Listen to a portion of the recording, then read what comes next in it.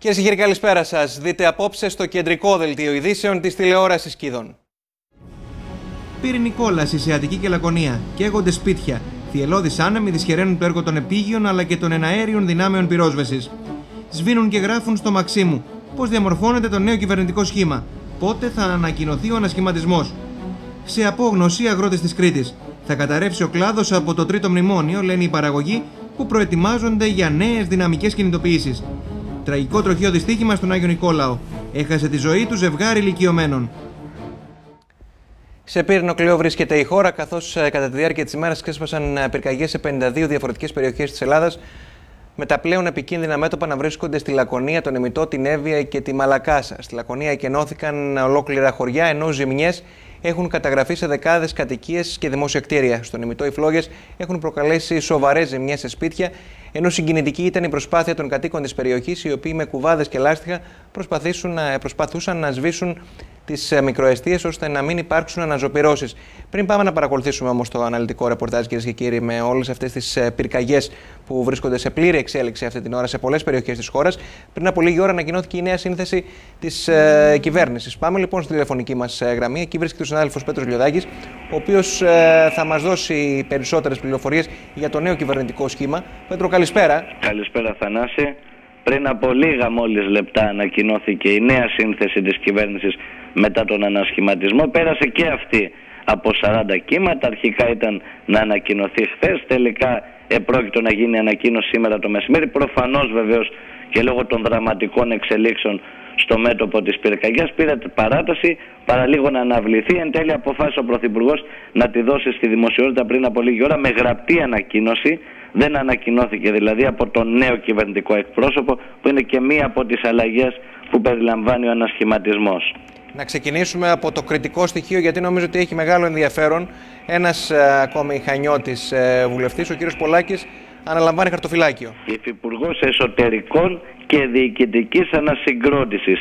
Στο Υπουργείο Εσωτερικών, δηλαδή του κυρίου Βούτσι, είναι ένα από τα νέα πρόσωπα στο Κυβερνητικό Συμβούλιο. Προφανώς ανταμείβεται για τη στάση που κράτησε στις δύσκολες ψηφοφορίες που προηγήθηκαν από την κυβέρνηση και με δεδομένο ότι ο Αλέξης Τσίπρας ήθελε να επιφέρει μια ισορροπία. Ξέραμε ότι θα έφευγαν οι πέντε υπουργοί και υφυπουργοί οι οποίοι δεν έδωσαν στήριξη στην κυβέρνηση στις κρίσιμες ψηφοφορίες. Δύο εξ αυτών βεβαίως είχαν ούτως ή άλλως αποχωρήσει η κυρία Βαλαβάνη και ο κύριος Χουντής. Από εκεί και πέρα ήθελε να βάλει κάποια στελέχη που να προέρχονται από τα αριστερά άκρα του ΣΥΡΙΖΑ ούτως ώστε να διατηρηθούν οι ισορροπίες.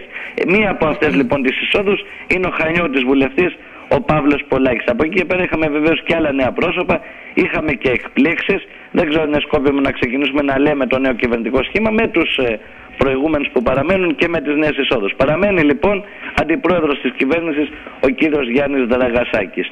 Στο Υπουργείο Εσωτερικών και Διοικητικής Ανασυγκρότησης Υπουργός παραμένει ο Νίκος Βούτσης. Αναπληρωτής υπουργός για θέματα διοικητικής μεταρρύθμισης. Στη θέση δηλαδή του κυρίου Κατρούγκαλου, ο οποίος μετακινήθηκε, είναι η νέα είσοδος ο κύριος Χριστόφορος Βερναδάκης. Αναπληρωτής υπουργός για θέματα προστασίας του πολίτη παραμένει ο Γιάννης Πανούτσος. Πανούσης ζητώ συγγνώμη. Πήρε και άλλες αρμοδιότητες; Ε, θα το δούμε αυτό υπό την έννοια ότι δεν έχει γίνει ακόμα οριστική ανακοίνωση στο τι παραπάνω θα περιλαμβάνει. Έχει να κάνει με το μεταναστευτικής πολιτικής. Είχαν ακουστεί πολλά την τελευταία, ναι, τις τελευταίες ώρες. Παρέμεινε το Υπουργείο και παρέμεινε και η κυρία Χρυστοδηλοπούλου. Αυτό ήταν το επόμενο που ήθελα να σου πω. Ότι είναι και κάποια πρόσωπα τα οποία δεν ήταν σίγουρο ότι θα κρατούσαν το χαρτοφυλάκιό τους, αλλά εν τέλει παραμένουν. Μία από αυτές είναι η Τασία Χρυστοδηλοπούλου, η οποία παραμένει αναπληρωτής μεταναστευτικής πολιτικής. Δηλαδή και το χαρτοφυλάκιο παραμένει και στο ίδιο πρόσωπο δίνεται εκ νέου. Η νέα είσοδος, είπαμε, ο υφυπουργός ο κύριος Πολάκης Εσωτερικών και Διοικητικής Ανασυγκρότησης, υφυπουργός για θέματα Μακεδονίας Τράκη, η κυρία Μαρία Κόλια Τσαρουχά. Στο Υπουργείο Οικονομίας, Υποδομών, Ναυτιλίας και Τουρισμού, υπουργός παραμένει ο Γιώργος Σταθάκης. Είχε ακουστεί το όνομα του, προφανώς δεν, δεν υπήρχε περίπτωση να αποχωρήσει, είχε ακουστεί ότι ενδέχεται να μετακινηθεί, όμως δική του πρόθεση ήταν να παραμείνει στο Υπουργείο Οικονομίας για να ολοκληρώσει το έργο του και φαίνεται και με δεδομένο ότι είναι ένας από τους στενούς συνεργάτες του Πρωθυπουργού που απολαμβάνουν την εμπιστοσύνη του, η επιθυμία του έγινε πράξη, παρέμεινε λοιπόν στο Υπουργείο Οικονομίας. Και νομίζω ότι ήταν φρόνιμο να μείνει και κάποιος από τους παλιούς, γιατί ε, στο οικονομικό είχαμε σαρωτική αλλαγή, αν είχαμε και στο οικονομίας, άλλαζε εκ βάθρων το οικονομικό επιτελείο της κυβέρνησης. Έτσι είναι, έχουμε και σε, άλλα, και σε άλλα σημαντικά στη, ε, υπουργεία τα στελέχη να παραμένουν. Α πούμε, στο Υπουργείο Εσωτερικών που το προσπέρασα, η παραμονή του Νίκου Βούτσι σημαίνει επίσης ότι δεν θα είναι αυτός ο νέος πρόεδρος της Βουλής όταν αποχωρήσει η κυρία Κωνσταντοπούλου. Φαβορή ήταν ο κύριος Βούτσι. Το γεγονός ότι παραμένει στο Υπουργείο Εσωτερικών σημαίνει ότι δεν θα είναι αυτός ο νέος πρόεδρος της Βουλής. Μία στο εκατομμύριο να μας ακούει τώρα η κυρία Κωνσταντοπούλου, νομίζω ότι θα την εκνευρίζει βαθύτατα. Εντάξει, και άλλοι το έχουν κάνει. Δεν νομίζω ότι διεκδικώ τα πρωτεία σε αυτό. Όπως επίσης δεδομένο είναι ότι είναι βραχύβια η προθεσμία που έχει για να παραμείνει στη θέση της Προέδρου της Βουλής. Στο Υπουργείο Οικονομίας λοιπόν όπως έλεγα, δίπλα στον κύριο Σταθάκη θα παραμείνει ως αναπληρωτής Υπουργός για θέματα υποδομών μεταφορών και δικτύων ο Χρήστος Σπίρτζης. Θα παραμείνει, παρότι δεν ήταν βέβαιο, και ως αναπληρωτής υπουργός για θέματα ναυτιλίας ο Θοδωρής Δερίτσα. Είχε ακουστεί ότι ενδέχεται να αποχωρήσει λόγω της αντίθεσής του στην ιδιωτικοποίηση του ΟΛΠ. Αναπληρώτρια υπουργός για θέματα τουρισμού παραμένει επίσης η Έλενα Κουντουρά από τους ανεξάρτητους Έλληνες. Στο Υπουργείο Παραγωγικής Ανασυγκρότησης Περιβάλλοντος και Ενέργειας, όπου δεδομένα θα είχαμε αλλαγές, δεν υπήρχε πιθανότητα να μείνει ο κ. Λαφαζάνης. Τη θέση του, όπως αναμενόταν σύμφωνα με τις τελευταίες πληροφορίες, όντως πήρε ο πρώην Υπουργός Εργασίας, ο Παναγιώτης Κουρλέτης. Αναπληρωτής Υπουργός για θέματα περιβάλλοντος παραμένει ο Γιάννης Τσιρόνης, ενώ αναπληρωτής Υπουργός για θέματα αγροτικής ανάπτυξης παραμένει ο Βαγγέλης Αποστόλου. Υφυπουργός για θέματα αγροτικής ανάπτυξης θα είναι όπως ήταν άλλωστε ο κύριος Παναγιώτης Σγουρίδης. Στο Υπουργείο Οικονομικών τώρα προφανώς παραμένει στη θέση του Υπουργού Ευκλήδης Τσακαλώτος και έχουμε τη νέα είσοδο στη θέση του αναπληρωτή Υπουργού για θέματα εσόδων. Θέση που κατήχε η κυρία Βαλαβάνη πριν παραιτηθεί. Στη θέση της λοιπόν τοποθετήθηκε ο Τρίφωνας Αλεξιάδης. Αναπληρωτής Υπουργός για θέματα Γενικού Λογιστηρίου του κράτους. Παραμένει ο Δημήτρης Μάρδας. Δεν έχουμε αλλαγές στο Υπουργείο Πολιτισμού, Παιδείας και Θρησκευμάτων με Υπουργό τον Αριστίδη Μπαλτά, αναπληρωτή Υπουργό για θέματα Πολιτισμού τον Νίκο Ξιδάκη, αναπληρωτή για θέματα παιδείας τον Τάσο Κουράκη, αναπληρωτή Υπουργό για θέματα έρευνας και καινοτομίας, τον Ηρακλειώτη Κώστα Φωτάκη και Υφυπουργό για θέματα αθλητισμού, τον Σταύρο Κοντονή. Στο Υπουργείο Εργασίας, τώρα που προέκυψε το κενό λόγω της μετακίνησης του κυρίου Σκουρλέτη στο Υπουργείο Παραγωγικής Ανασυγκρότησης. Τη θέση του Υπουργού θα πάρει ο Γιώργος Κατρούγκαλος, ο οποίος δεν ήταν δεδομένο ότι θα συμμετέχει στο νέο Υπουργικό Συμβούλιο. Εν τέλει αναβαθμίστηκε κιόλας, θα έλεγε κάποιος, με δεδομένο ότι αναπληρωτής Υπουργός πηγαίνει τώρα στην ηγεσία του Υπουργείου Εργασίας. Βέβαια το έργο του μόνο εύκολο δεν θα είναι, με δεδομένο ότι η συμφωνία της κυβέρνησης περιλαμβάνει αλλαγές στα εργασιακά που δεν θα είναι στην κατεύθυνση που θα ήθελε ο ΣΥΡΙΖΑ. Αναπληρωτής Υπουργός για θέματα κοινωνικής αλληλεγγύης παραμένει η Θεανό Φωτίου. Αναπληρωτής Υπουργός για θέματα ανεργίας παραμένει η Ράνια Αντωνοπούλου. Έχουμε όμως και μία νέα είσοδο γιατί αναλαμβάνει η Υφυπουργός για θέματα κοινωνικών ασφαλίσεων ο Παύλος Χαϊκάλης, ο βουλευτής των ανεξάρτητων Ελλήνων. Δεν υπάρχουν αλλαγές στο Υπουργείο Υγείας και Κοινωνικών Ασφαλίσεων, δηλαδή Υπουργός Παναγιώτης Κουρομπλής, αναπληρωτής Υπουργός Ανδρέας Ξανθός. Στο Υπουργείο Εξωτερικών παραμένει ο Νίκος Κοτζιάς, όμως το κενό που είχε προκύψει με τη μετακόμιση του Ευκλήδη Τσακαλώτου στο Υπουργείο Οικονομικών καταλαμβάνει ένα νέο πρόσωπο, η κυρία Σία Αναγνωστοπούλου, ενώ η Υφυπουργός Εξωτερικών, στη θέση δηλαδή του κυρίου Χουντή, επίσης τοποθετείται ένα νέο πρόσωπο, ο βουλευτής του ΣΥΡΙΖΑ Γιάννης Αμανατίδης. Στο Υπουργείο Εθνικής Άμυνας παραμένει ο Πάνος Καμένος με αναπληρωτή υπουργό πλέον τον Δημήτρη Βούτσα και υφυπουργό τον Νίκο Τόσκα. Στο Υπουργείο Δικαιοσύνης υπουργός ο Νίκος Παρασκευόπουλος, υφυπουργός ο Δημήτρης Παπαγγελόπουλος, υπουργός Επικρατείας για την καταπολέμηση της διαφθοράς. Παραμένει ο Παναγιώτης Νικολούδης, υπουργός Επικρατείας για το συντονισμό κυβερνητικού έργου. Παραμένει ο Αλέκος Φλαμπουράρης, με υφυπουργό παρά, παρά το πρωθυπουργό για το συντονισμό του κυβερνητικού έργου, όπως και πριν τον Τέρεν Σκουίκ. Υπουργός Επικράτειας προφανώς ο Νίκος Παπάς, αλλαγή στη θέση του κυβερνητικού εκπροσώπου, όπως είπα από την αρχή, με την κυρία Όλγα Γεροβασίλη να παίρνει τη θέση του Γαβρίλη Σακελαρίδη. Ο Γαβρίλη Σακελαρίδης, ο οποίος αναμενόταν να αναβαθμιστεί σε αυτόν τον ανασχηματισμό, εν τέλει αυτή τη στιγμή και σύμφωνα με τις ανακοινώσεις τοποθετείται κοινοβουλευτικός εκπρόσωπος μαζί με τον Νίκο Φίλη και τον Αλέξανδρο Τριανταφυλλίδη. Αυτό βεβαίως μπορεί να σημαίνει και άλλα πράγματα πέρα από αυτό. Μπορεί δηλαδή από τη μία να σημαίνει ότι θέλει να έχει κάποια σημαντικά στελέχη κυβέρνηση στη θέση του κοινοβουλευτικού εκπροσώπου τόσο ώστε να δώσει μεγαλύτερη βάση στο, στο επικοινωνιακό της κομμάτι. Βεβαίως, αν και θα ήταν όντως μια παράδοξη επιλογή λόγω ηλικίας κυρίως, ψάχνω εγώ να βρω το σημαντικό στέλεχος που έχει μείνει εκτός κυβέρνησης για να αναλάβει τη θέση του Πρόεδρου της Βουλής. Βεβαίως, πρώτο φαβορή για αυτή τη θέση κοιτώντας τα ονόματα Μάλλον είναι αυτή τη στιγμή ο Αλέξης Μητρόπουλος. Ε, νομίζω ότι το λέγαμε και χθες ε, Πέτρο, έδειξε δείγματα γραφής όλο αυτό το χρονικό διάστημα με αποκορύφωμα τις τελευταίες του ε, εμφανίσεις στις κρίσιμες συνεδριάσεις της Βουλής και έχω την εντύπωση ότι όταν ο Πρωθυπουργός αποφασίσει να πιάσει στα χέρια του αυτή την ε, καυτή πατάτα που λέγεται θέση του Προέδρου της Βουλής έχω την εντύπωση ότι πρέπει να είναι ε, μάλλον κατασταλαγμένος ε, προς τον κύριο Μητρόπουλο. Δεν ξέρω βέβαια αν ο ίδιος ε, το επιθυμεί. Από εκεί και πέρα απέδειξε ο άνθρωπος ότι είναι ο κατάλληλος άνθρωπος στην κατάλληλη θέση εάν και εφόσον ο Πρωθυπουργός αποφασίσει να κάνει αυτήν την αλλαγή στη συγκεκριμένη, στο συγκεκριμένο αξίωμα. Πάντως, Πέτρο, βλέποντας τον ανασχηματισμό, δεν το λέει κανείς σαρωτικό. Σαρωτικό περιμέναμε ε, μετά την ε, ψηφοφορία της ε, συμφωνίας. Έτσι είχε αποδοθεί ο χαρακτηρισμός του ανασχηματισμού που ερχόταν. τελικά μόνο σαρωτικό δεν τον λέει κανείς αυτόν τον ανασχηματισμό. και έχω την αίσθηση... Οι μισές αντικαταστάσεις ήταν αναγκαστικές. Έτσι. Ακριβώς, ακριβώς.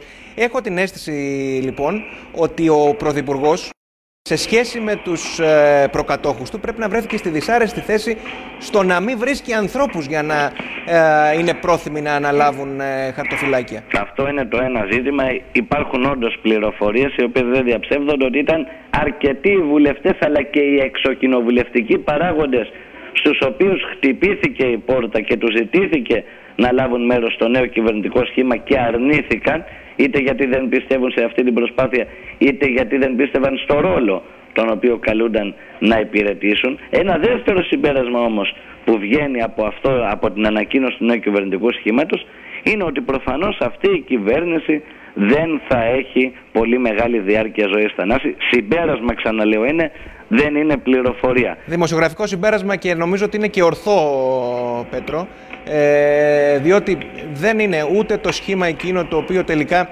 ε, προκύπτει με ευρύτερες ε, συνεργασίες. Δεν βλέπουμε πρόσωπα τα οποία ε, ενδεχομένως να συγκεντρώνουν θετικές απόψεις και από τα υπόλοιπα κόμματα που στηρίζουν πλέον την κυβέρνηση, γιατί μην ξεχνάμε ότι είναι μια κυβέρνηση μειοψηφίας πλέον η συγκυβέρνηση ΣΥΡΙΖΑ ανεξάρτητων Ελλήνων. Οπότε έχω την αίσθηση ότι το κυβερνητικό σχήμα που παρουσίασε απόψε ο Πρωθυπουργός κινείται στη λογική να κλείσει η συμφωνία, να κλείσουν οι τρύπες της συμφωνίας και από εκεί και πέρα στείλουμε κάλπες στο φθινόπωρο. Ακριβώς έτσι. Δεν είμαι σίγουρος ότι θα είναι κάλπες. Για την ακρίβεια, φοβάμαι ότι θα είναι κάλπες. Δεν το ελπίζω. Μακάρι να μπορέσει μετά που θα κλείσει τη συμφωνία η κυβέρνηση απαλλαγμένη από αυτό το βάρος να βρει έναν τρόπο τόσο ώστε να μπορέσει να συνεχίσει χωρίς να χρειαστεί η οικονομία της χώρας να παγώσει πάλι που χρειάζονται οι εκλογές να έχει και την εμπιστοσύνη της Βουλής να μπορέσει να προωθήσει και άλλες μεταρρυθμίσεις που είναι απαραίτητες για τη χώρα δεν είναι εις βάρος των πολιτών και δεν περιλαμβάνονται στο μνημόνιο. Το σίγουρο πάντως είναι, το σίγουρο, το σίγουρο συμπέρασμα στο οποίο συμφωνούμε και δύο και φαντάζομαι οποιοδήποτε ασχολείται ενεργά με τα πολιτικά είναι ότι αυτή η κυβέρνηση λογικά θα πάει μέχρι και την υπογραφή της συμφωνίας και όχι παραπέρα. Έτσι. Πέτρος, το άλλο μεγάλο θέμα της ημέρας, γιατί ο ανασχηματισμός ήταν κάτι το οποίο το συζητούσαμε ε, ότι επρόκειτο να γίνει, αλλά δυστυχώς ε, από τις πρώτες πρωινές ώρες σήμερα η χώρα μετράει πληγές, ε, μετράει πύρινα μέτωπα, μετράει καταστροφές. Ε, Ποιες είναι οι τελευταίες πληροφορίες από το μέτωπο των πυρκαγιών και αν οι μεγάλες πυρκαγιές που έχουν ξεσπάσει σε Αττική και Λακωνία έχουν σιγά σιγά αρχίσει να τίθενται υπό έλεγχο υποέλεγχο θα ήταν βιαστικό να το πούμε. Τα καλά νέα είναι ότι δεν τις λες και ανεξέλεγκτες υπό την έννοια ότι είναι σε μια σχετική ύφεση η μεγάλη πυρκαγιά στον Καρέα και στον Ημιτό, έχει υπάρξει και μια μικρή βελτίωση στο μέτωπο της Λακωνίας. Βεβαίως οι καταστροφές που έχουν προκληθεί κατά τη διάρκεια της μέρας από την πολύ οριμάχη πυροσβεστών και κατοίκων με τις φλόγες. Είναι μεγάλες, έχουν καεί σπίτια, έχουν καεί επιχειρήσεις, χωριά, κινδύνεψαν ανθρώπινες ζωές Είχαμε και έναν θάνατο ο οποίος βεβαίως οφείλεται σε καρδιακή προσβολή αλλά είναι έμεση συνέπεια Ακριβώς. της πυρκαγιάς. Και ας ελπίσουμε ότι τα πράγματα θα εξελιχθούν καλύτερα τις επόμενες ώρες ε, διότι δυστυχώς οι πληροφορίες από την Εθνική Μετεωρολογική Υπηρεσία δεν μας δίνουν το δικαίωμα της ε, αισιοδοξίας και της ελπίδας καθώς ε, αναμένεται ενίσχυση των ανέμων. Πάντως σε ό,τι αφορά τις απογευματινές ώρες σήμερα ευτυχώς ε, σε πολλές από τις περιοχές όπου υπήρχαν ε, πύρνα μέτωπα, κόπασαν ε, προσωρινά οι άνεμοι και έδωσαν τη δυνατότητα στις δυνάμεις πυρόσβεσης να κάνουν όσο καλύτερα γίνεται τη δουλειά τους. Πέτρο, ευχαριστούμε πολύ και σε αυτό το σημείο να περάσουμε κυρίες και κύριοι να παρακολουθήσουμε το αναλυτικό ρεπορτάζ με όλα αυτά τα πύρινα μέτωπα που έχουμε σε πολλές περιοχές ολόκληρης της χώρας.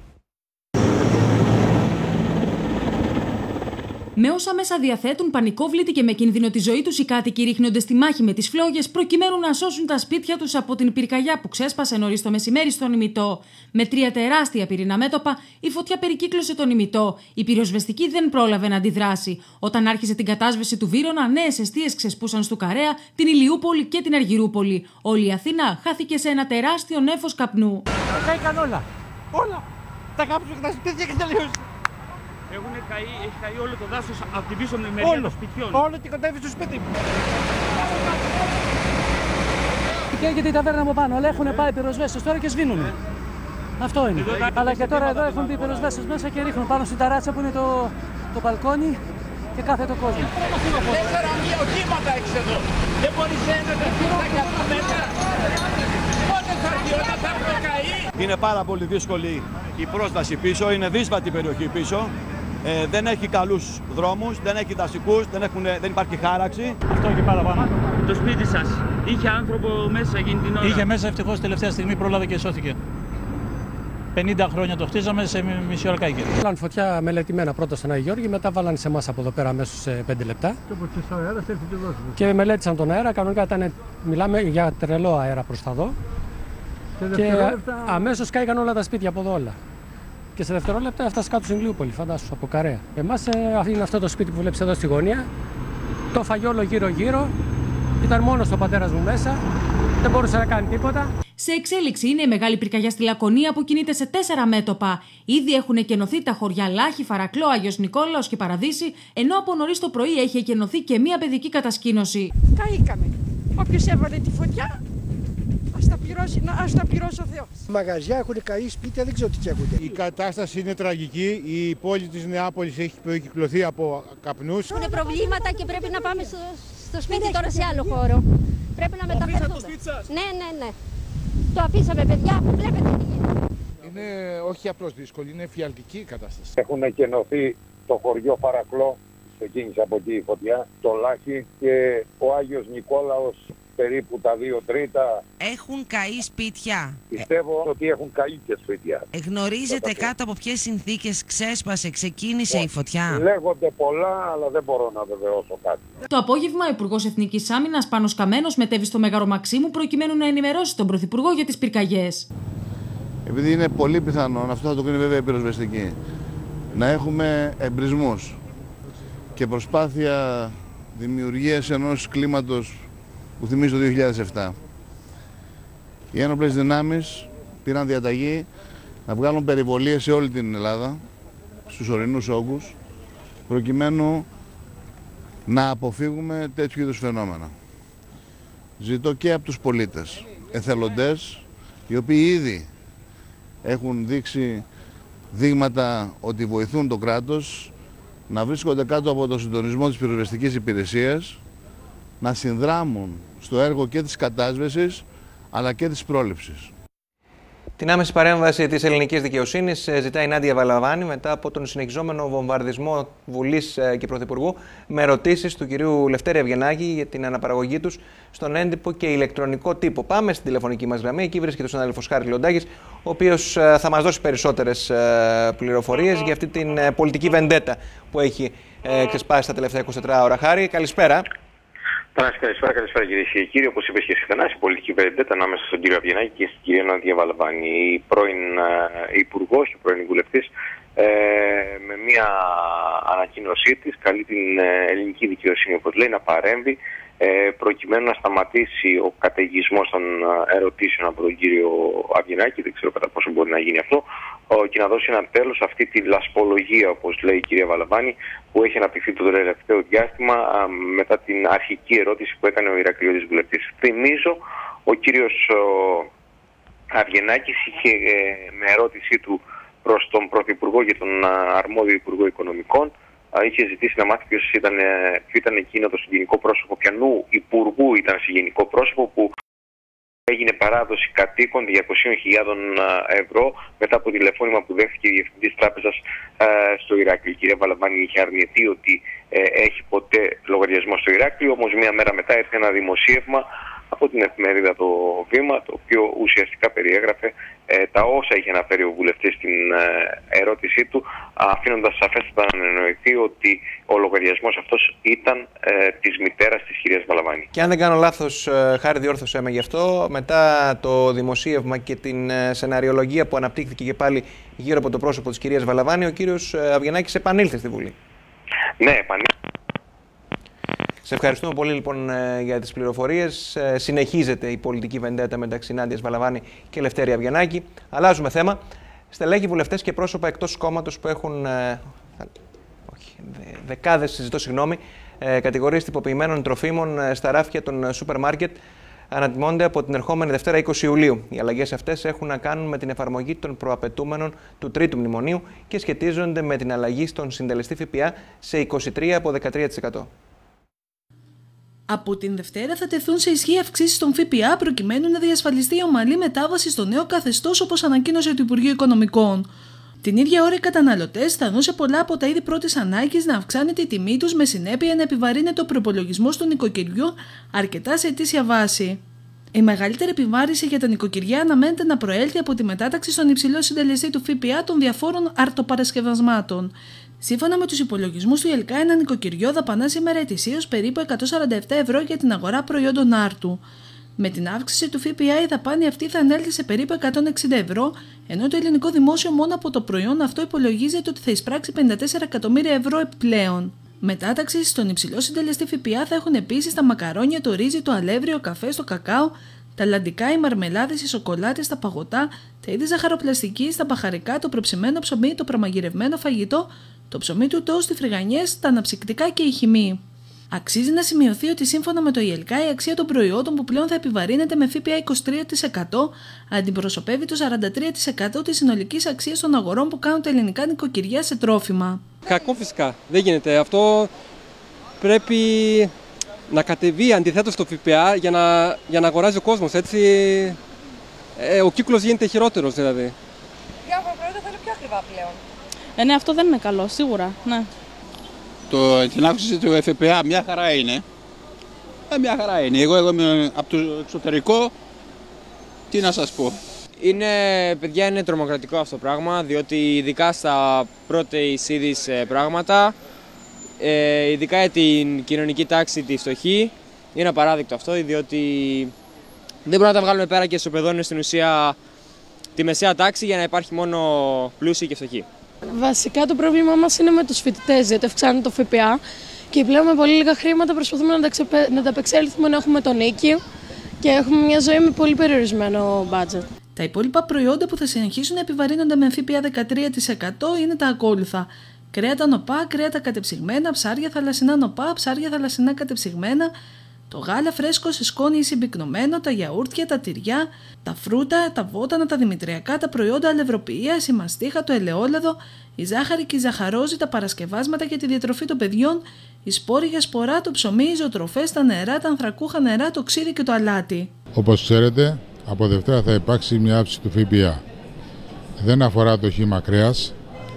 Όλα τα κρέατα από Δευτέρα θα έχουν την ίδια τιμή στο χήμα κρέας. Στο κρέας δηλαδή που παίρνει ο πελάτης, το κόβει και το παίρνει από το κρεοπολείο. Οτιδήποτε άλλο είναι συσκευασμένο ή σε κρεατοσκευάσματα ή σε προσφερόμενα τυλιγμένα εκ των προτέρων σε βάγκουμ ή άλλες ε, συσκευασίες θα είναι στο 23%. Αυτό είναι η απόφαση του Υπουργείου. Όσον αφορά τις τιμές στο μοσχάρι που είπαν για 23% θα αφορά μόνο τα ζωντανά μοσχάρια που εισάγονται ή σφάζονται σε, στα σφαγεία και είναι σε ζών βάρος. Επίσης το 23% θα πάνε από τη Δευτέρα και τα εισιτήρια των μέσων μαζικής μεταφοράς, τα κόμιστρα ταξί και τα φροντιστήρια. Δείτε κυρίες και κύριοι στη συνέχεια του δελτίου μας. Σε απόγνωση αγρότες και στην Κρήτη.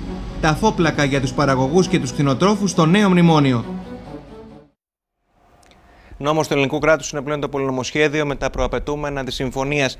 Οι αλλαγές που δρομολογούνται από την εφαρμογή του είναι δραματικές και αφορούν μεταξύ άλλων, όπως παρακολουθήσαμε και στο ρεπορτάζ που προηγήθηκε, τους συντελεστές του ΦΠΑ αλλά και τις συντάξεις. Σαν θηλιά στο λαιμό αισθάνονται οι αγρότες της Κρήτης τα επερχόμενα φορολογικά. Εμείς που εργαστήκαμε 40 χρόνια για να πάρουμε μια σύνταξη καλή, να μα εμειώνει, να μα εμειώνει και όποιος και να κυβερνά, υπάρχει δυσπιστία στην Ελλάδα. Αν η ευθυνότητα και ο κόσμος έχει αβεβαιότητα στην Ελλάδα. Μεγάλες αλλαγές και ανατροπές κρύβουν τα πρώτα μέτρα του μνημονίου που πέρασαν από τη Βουλή. Μια διάταξη που μπήκε φνηδιαστικά στο τελικό κείμενο του νόμου που ψηφίστηκε τα ξημερώματα της Πέμπτης οδηγεί σε επιπλέον μείωση συντάξεων για έως 150.000 δικαιούχους. Είναι απελπιστικό γιατί εγώ είμαι συνταξιούχος του δημοσίου, μου έχουν κόψει 300 ευρώ. Οπότε, αν γίνει ακόμα περικόπη, δεν θα μπορούμε να ζήσουμε. Με διάταξη της τελευταίας στιγμής αλλάζει ο τρόπος υπολογισμού των συντάξεων για όσους έχουν υποβάλει αίτηση συνταξιοδότησης από την 1η Πρώτου 2015. Η σχετική ρύθμιση που προβλέπεται στο νόμο Λοβέρδου Κουτρουμάνη ανατρέπει τα θεμελιωμένα δικαιώματα, καθώς από το νέο σύστημα δεν θα εξαιρεθούν όσοι έχουν συμπληρώσει και την ηλικία και το χρόνο ασφάλισης πριν από το 2015 και βάσει του νόμου 3863 είχαν το δικαίωμα να αποχωρήσουν και μετά το 2015 χωρίς όμως να τους επηρεάσουν επηρεάσουν οι αλλαγές στον υπολογισμό της σύνταξης. Οι μειώσεις της σύνταξης φτάνουν σε 1,8% για το τρέχον έτος και θα φτάσουν το 4,5% στην επόμενη 15 ετία. Αυτές τις μειώσεις θα υποστούν όσοι θα συνταξιοδοτηθούν από φέτος και μετά. Δεν έχουν καθόλου περιθώριο. Είμαστε πολύ κάτω. Και άμα μα κόψετε κι άλλο. Τα μνημόνια συνεχίζουν τα ίδια. Τα ίδια και χειρότερα μπορώ να πω. Εγώ έκανα 40 χρόνια στον ΟΤΕ τεχνικός. Έπαιρνα μια σύνταξη καλή. Για να μπω στο επικουρικό, ε, πλήρωσα προ 27 χρόνια παρά 2.000 ένα εκατομμύριο για να μπω στο ταμείο του επικουρικού. Σήμερα μου το κόβει, το ξανακόβει. Η σύνταξη τώρα θα υπολογίζεται ως εξής. Ένα τμήμα σύνταξης θα αντιστοιχεί στα αίτια ασφάλισης που έχουν πραγματοποιήσει ασφαλισμένοι μέχρι τις 31 12 του 2010 και θα υπολογιστεί με ό,τι προβλέπει η νομοθεσία του κάθε ταμείου, δηλαδή θα υπολογιστεί με το παλιό σύστημα. Ένα τμήμα σύνταξης θα αντιστοιχεί στα αίτια ασφάλισης από το 2011 και μετά και θα υπολογιστεί με μειωμένους συντελεστές και με βάση τις εισφορές και τις συνολικές αποδοχές των εργαζομένων από το 2011 μέχρι το έτος που συνταξιοδοτούνται. Ένα τμήμα σύνταξης θα είναι από το βασικό ποσό των 360 ευρώ. Το νέο σύστημα υπολογισμού των συντάξεων θα ισχύσει για όλους ανεξαιρέτως τους ασφαλισμένους σε δημόσιο, οίκα, ταμεία δέκο, τραπεζών, ΟΑΕ, οι οποίοι έχουν υποβάλει αιτήσεις αποχώρησης από την 1η Πρώτου του 2015 και μετά.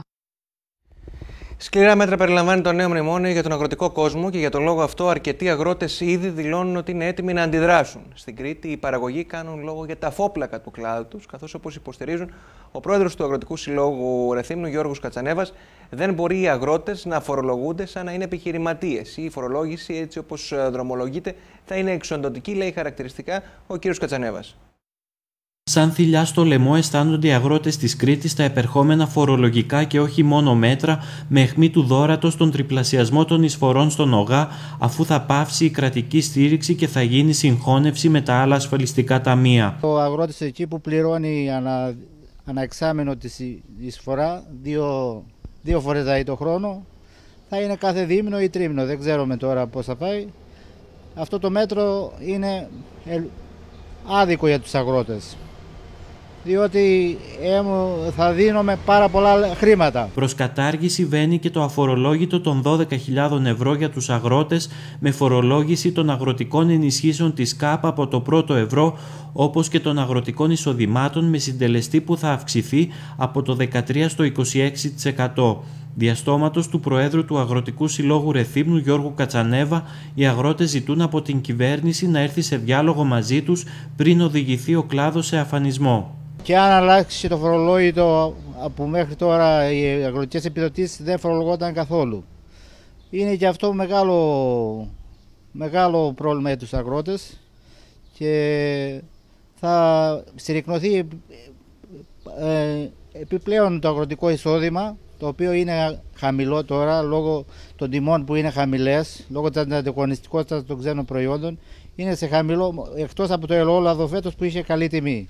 Όλα τα άλλα αγροτικά προϊόντα είναι σε χαμηλές τιμές και δεν βγάζουν ούτε τα έξοδά τους ορισμένες φορές η, η παραγωγή θα καταργηθεί και η επιστροφή του ειδικού φόρου κατανάλωσης πετρελαίου για τους αγρότες. Σημειώνεται ότι κατά το 2013 επιστράφηκε στους αγρότες σε τρεις δόσεις συνολικό ποσό ύψους 184,3 εκατομμυρίων ευρώ. Τα αγροτικά εφόδια θα επιβαρυνθούν με συντελεστή ΦΠΑ 23% αντί του 13% που ισχύει σήμερα, ενώ η αύξηση προκαταβολής φόρου στο 100% θα επιβαρύνει σημαντικά τη ρευστότητα των αγροτικών επιχειρήσεων. Το κόστος είναι μεγάλο, διότι τα εργατικά τα τελευταία χρόνια έχουν ακριβήσει για τη συλλογή και για την επεξεργασία, τα πάντα. Τα λιπάσματα, οι πρώτες ύλε, όλα τα αγροτικά εφόδια έχουν ε, πάρει την άνοδο. Κανένα δεν έχει μείνει σταθερό. Τα πετρέλαια τώρα πέντε χρόνια έχουν ανέβει. Τα κόστη δηλαδή παραγωγής στους αγρότες έχουν ανέβει. Ε, τώρα αν αλλάξει η φορολογία που λέμε θα είναι ε, κέριο πλήγμα για τους αγρότες και πιστεύω η Ήπεθρος θα ζήσει δύσκολες μέρες από εδώ και πέρα αν εφαρμοστούν αυτά τα μέτρα που λένε. Με αίμα βάφτηκε για ακόμη μία φορά η άσφαλτος ε, σε δρόμο της Κρήτης, τροχείο δυστύχημα το οποίο συνέβη το πρωί στην περιοχή των Λιμνών στον Άγιο Νικόλαο. Υπό συνθήκε που ερευνώνται συγκρούστηκαν με ιδιαίτερη σφοδρότητα ένα επιβατικό αυτοκίνητο με ένα φορτηγό με αποτέλεσμα να τραυματιστούν θανάσιμα δύο ηλικιωμένοι άνθρωποι, μία 77χρονη και ο 79χρονο σύζυγός της. Ένα ζευγάρι ηλικιωμένων έχασε τη ζωή του όταν επιχείρησαν με το αυτοκίνητό τους να κάνουν αναστροφή πάνω στην Εθνική Οδό με αποτέλεσμα να εμβολιστούν κυριολεκτικά από ένα φορτηγό. Ένα ακόμα τροχαίο δυστύχημα που ανεβάζει στους 41 τους νεκρούς σε ολόκληρη την Κρήτη από την αρχή του χρόνου. Ο αριθμός είναι τεράστιος καθώς πέρυσι το ανάλογο διάστημα υπήρχαν μόλις 26 νεκροί. Ήδη αυτή την ώρα έχουμε 41 νεκρούς, τη στιγμή που πέρυσι το ίδιο διάστημα είχαμε 26. Εκείνο που είναι εξαιρετικά παράξενο θα έλεγα, αλλά κάθε χρόνο έχουμε κάτι που μας εκπλήσει δυσάρεστα θα έλεγα, είναι το θέμα της, ε, του, του νομού Λασιθίου. Πέρυσι αυτήν την ώρα που μιλάμε δεν είχαμε κανένα νεκρό και σήμερα έχουμε 11. Αυτό το πράγμα νομίζω ότι είναι απίστευτο, είναι πρωτοφανές, δεν συμβαίνει και δεν το συναντάμε, είναι σπανιότατο, αλλά όμως ήρθε και συνέβη. Έχουμε 41 νεκρούς λοιπόν σήμερα, εκ των οποίων οι 11 στα Χανιά, 11 στο Λασίθι, 15 στο Ηράκλειο και οι 5 στο νομό Ρεθύμνου. Τα στοιχεία από τα θανατηφόρα τροχαία δυστυχήματα δείχνουν ότι φέτος η πλειονότητά τους είναι στους επαρχιακούς δρόμους. Όμως αυτό που προκαλεί ανησυχία είναι το γεγονός ότι υπάρχουν πολλοί ηλικιωμένοι άνω των 60 οι οποίοι εμπλέκονται σε θανατηφόρα τροχαία δυστυχήματα. Ο κύριος Λιονάκης επισημαίνει ότι μεγάλο ρόλο παίζει το γεγονός ότι τα τελευταία χρόνια έχουμε ξεχάσει τι θα πει συντήρηση των αυτοκινήτων. Συντήρηση των οχημάτων μας. Τα τελευταία έξι χρόνια είναι πλημελέστατη. Λάστιχα αλλάζουν, θα έλεγα, σπάνια και αφού εξαντλήσουν όλες τους τις δυνατότητες, πολύ δε περισσότερο υπάρχει πλημελέστατη φροντίδα και στα μηχανικά μέρη τα οποία ε, είναι απαραίτητα για να στηρίξουν το αυτοκίνητο στο οδόστρωμα κλπ. Ε, η πλημελής, ε, το, ε, το πλημελές σέρβις των αυτοκινήτων μας, η πλημελή συντήρηση, η, το, το ταλαιπωρημένο, κουρασμένο μυαλό και ψυχολογία που έχουμε τα τελευταία χρόνια εξαιτίας της κρίσης και εξαιτίας όλων αυτών που μας συμβαίνουν. Η κούραση να προλάβουμε να κάνουμε διπλάσια πράγματα για να καταφέρουμε αυτά που παλιότερα καταφέρνουμε με μισή δουλειά ε, καθώς και το στρες της καθημερινότητας σαφέστατα και δημιουργούν ένα πολύ δύσκολο και επικίνδυνο οδηγικό τοπίο. Η εφαρμογή του νέου κανονισμού για τους κοινόχρηστους χώρους της πόλης του Ηρακλείου δρομολογείται από την πλευρά της Δημοτικής Αρχής. Όπως έγινε γνωστό, θα υπάρξει περίοδος χάριτος για την προσαρμογή των επιχειρήσεων, ενώ σε κάποιους από τους κεντρικούς δρόμους και τις πολυσύχναστε πλατείε της πόλης υπάρχει πρόνοια για τη δημιουργία ενιαίας εικόνας από το σύνολο των καταστημάτων που δραστηριοποιούνται εκεί. Σε διαβούλευση μπαίνει το νέο κανονιστικό πλαίσιο για τους κοινόχρηστους χώρους του Δήμου Ηρακλείου. Όπως επεσήμανε ο Αντιδήμαρχος Πολεοδομίας Γιάννης Αναστασάκης, αυτό που προέχει είναι να αλλάξει ριζικά η εικόνα της πόλης όχι μόνο στο κέντρο αλλά και στην περιφέρεια και παράλληλα να γνωρίζουν επιχειρηματίες και δημότες ποιοι είναι οι χώροι εκείνοι οι κοινόχρηστοι οι οποίοι μπορούν να αξιοποιηθούν. Στόχος μας είναι να γίνει η πόλη πιο όμορφη, πιο εύκολα προσβάσιμη και να μπορούν να κινούνται όλοι με ασφάλεια χωρίς να τους δημιουργείται κανένα πρόβλημα. Θα ξέρουν με αυτή την κανονιστική πράξη που ήδη έχει τεθεί σε διαβούλευση άπαντες ποιες είναι οι προποθέσει για να πάρει κάποιος κοινόχρηστο χώρο να το χρησιμοποιεί για το μαγαζί του, είτε για τα εμπορεύματα είτε για τραπεζοκαθίσματα ποιες είναι οι προποθέσει, οι μορφολογικές ε, που πρέπει να έχει ο εξοπλισμός που θα χρησιμοποιεί κάποιος επιχειρηματίας, τι χρώματα θα βάψει τις όψεις του, τι είδους ομπρέλες επιτρέπονται, τι διαχωριστικά. Ε, και θα υπάρχουν συνημένοι χάρτες που θα φαίνονται ξεκάθαρα ποιοι χώροι έχουν παραχωρηθεί. Περνάμε ουσιαστικά από την ε, λογική των κίτρινων γραμμών που ενδεχομένως να συνεχίσουν να υπάρχουν και σε χάρτες που θα είναι αναρτημένοι ε, και διαθέσιμοι σε όλους τους δημότες και στους επιχειρηματίες ποιοι χώροι επιτρέπεται να παραχωρούνται. Ο κύριος Αναστασάκης επισημαίνει ότι θα δοθεί ένα εύλογο χρονικό διάστημα στους επιχειρηματίες εκείνους οι οποίοι έχουν αναπτύξει τραπεζοκαθίσματα προκειμένου να προσαρμοστούν με το νέο κανονιστικό πλαίσιο. Το νέο πλαίσιο αυτό ορίζει συγκεκριμένες προδιαγραφές για τα τραπεζοκαθίσματα αλλά και για τα χρώματα που επιλέγονται από κάθε κατάστημα. Ορίζοντα ότι η σημερινή οικονομική συγκυρία απαγορεύει ουσιαστικά, τουλάχιστον για αυτή τη δημοτική αρχή, να οδηγεί σε βίαιες αλλαγές απροειδοποιητές, βάζουμε μια μεταβατική διάταξη ε, δύο ετών, όπως ορίζει και ο 4178 για την προσαρμογή στα μορφολογικά πρότυπα που απαιτούμε. Αυτό τουλάχιστον έχει τεθεί σε διαβούλευση. Περιμένουμε για τις παρατηρήσεις από τους συναρμόδιους φορείς. Και σε ό,τι αφορά την, ε, τον παραχωρούμενο χώρο, όποιος θα δικαιούται παραπάνω για να τον πάρει, πρώτα θα πρέπει να έχει προηγηθεί η συμμόρφωσή του με τα νέα μορφολογικά πρότυπα. Άρα, έχουμε ουσιαστικά ένα κίνητρο ότι θα δοθεί επιπλέον χώρος, αλλά αυτό που θα πρέπει να προσφέρει από τη δικιά του πλευρά ο επιχειρηματίας είναι να προσαρμόσει πλήρως το αισθητικό κομμάτι στις επιταγές του Δήμου Ηρακλείου. Δολιοφθορές προκάλεσε ανάγνωση στο μηχάνημα αυτόματης διάθεσης ποδηλάτων στην πλατεία Μαρκοπούλου στα Χανιά, καθώς και σε μία από τις θέσεις των ποδηλάτων. Αίσθηση προκαλεί το γεγονός πως πρόκειται για έργο του οποίου η κατασκευή βρίσκεται ακόμη σε εξέλιξη και δεν έχει παραδοθεί για χρήση. Την απογοήτευσή της για τις ζημιές που προκάλεσε ανάγνωστη στο μηχάνημα αυτόματη διάθεσης ποδηλάτων στην πλατεία Μαρκοπούλου, εκφράζει με ανακοίνωσή της η Δημοτική Αρχή των Χανίων. Όπως αναφέρεται στην ανακοίνωση, είναι απαράδεκτο να προκαλούνται βανδαλισμοί και μάλιστα σε έργα που δεν έχουν ακόμη παραδοθεί προς χρήση.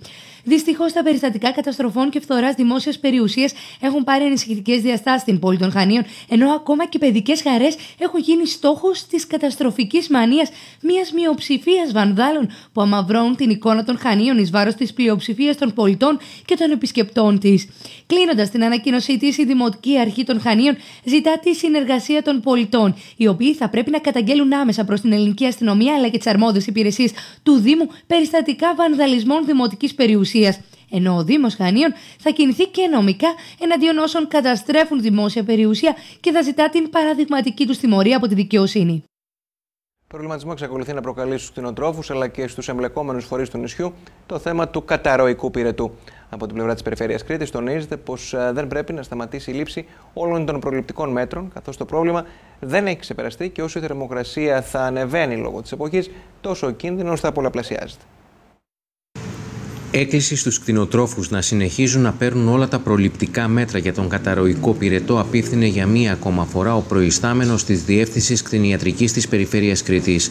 Ο κύριος Σομαράς επισημαίνει ότι οι κτηνοτρόφοι θα πρέπει να είναι ιδιαίτερα προσεκτικοί και να τηρούν σχολαστικά όλα τα μέτρα τα οποία έχουν εδώ και καιρό ανακοινωθεί. Και πέρυσι, μην ξεχνάμε ότι η επιδημία του καταρροϊκού ξεκίνησε στην Κρήτη πολύ αργότερα. Ξεκίνησε κοντά στο Σεπτέμβριο. Άρα δεν έχει τελειώσει το θέμα, ανεξάρτητα αν δεν έχουμε χρόνο μέχρι τώρα και εφιστούμε την προσοχή στους κτηνοτρόφους για την προστασία του ζωικού τους κεφαλαίου. Πέρα από τον εμβολιασμό, επαναλαμβάνω, μεγαλύτερη σημασία έχουν τα μέτρα πρόληψης που έχουμε πει. Δηλαδή, ε, η αντιμετώπιση της κνήπα, η οποία γίνεται με ψεχασμό στη μονάδα τους, με τη χρήση ε, έντομα αποθετικών στα ζώα, με τον ψεχασμό των αυτοκινήτων και με την ε, απαγόρευση ε, μετακίνηση ζώων χωρίς κτηνιατρική βεβαίωση και χωρίς να πάρθουν τα μέτρα τα οποία προβλέπει η νομοθεσία.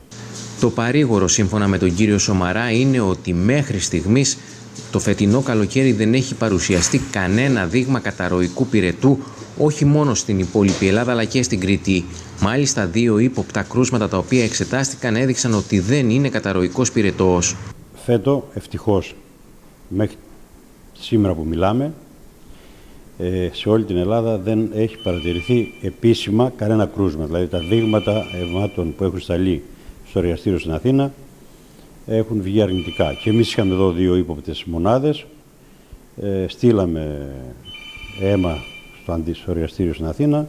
Ευτυχώς απεδείχθη ότι ήταν λοιμώδες έκτημα και μέχρι στιγμής δεν έχουμε κανένα κρούσμα και στην Κρήτη.